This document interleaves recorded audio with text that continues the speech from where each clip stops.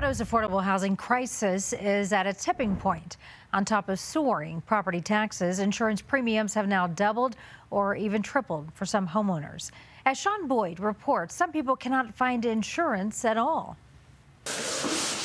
If anyone understands the importance of having adequate insurance, it's survivors of the Marshall Fire almost all of whom were underinsured. We've lived it, and uh, nobody would really want to go through that again. Alan Ferguson among those rebuilding. There's a lot of unknowns out there. And insurance is now one of them. He and his neighbors are doing what they can to lower their risk of wildfire. There is nothing on the outside of the structure that is organic and likely to burn. And increase their chance of securing coverage. Right now, it's, it's all guesswork. He's called more than 10 carriers. They're telling us to wait about a month before uh, we move in. For homeowners trying to rebuild, that uncertainty is really unsettling. He's not alone. It's gotten a lot worse and it's starting to accelerate. State Representative Judy Amabile says insurers are not only raising premiums, but refusing to insure entire neighborhoods.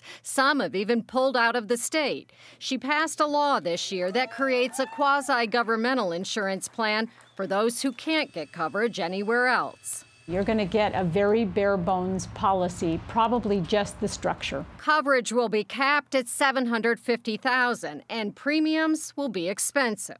We do not want to do anything to um, disrupt the commercial insurance market. Critics worry it will encourage people to move into high-risk areas. But I think we saw with the Marshall Fire, we just don't know where that is. So should we be encouraging everybody who lives in Steamboat to move away? Should we say, well, okay, let's write off the town of Nederland? I'm in limbo as far as to will I have insurance on a property. Kitty Stevenson among those who moved out of a high risk area. She has a house, barn, and 25 acres on Sugarloaf. And then Marshall hit, and then game changer game changer. Her insurance, she says, jumped from 7,000 to 17,000. She put her property on the market and moved into town.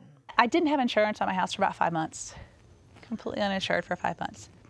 Yeah, so I was just like, don't breathe, don't plug anything in. She's cycled through four insurers in two years. The latest, she says, canceled her policy after she made a claim on a different property covered by a different insurer. If they're looking for any reason to be like, no, no, because they're just cutting their losses. And it has a ripple effect. You can't get a mortgage without insurance. And Stevenson says if there aren't homeowners in areas like Sugarloaf, there aren't firefighters. I was a volunteer firefighter, and we would go and put out these fires before they started and got big. We protect the water sources. We have an awesome community here. Ferguson worried insurance could lead some of his neighbors already struggling with the cost of rebuilding to throw in the towel. It's just another, frankly, big issue on top of a lot of other big issues as we're trying to get our community back together.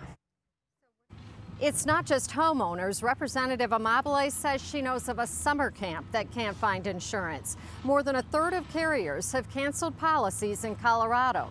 The state insurer of last resort won't be available for another year. In Boulder County, Shaun Boyd covering Colorado first.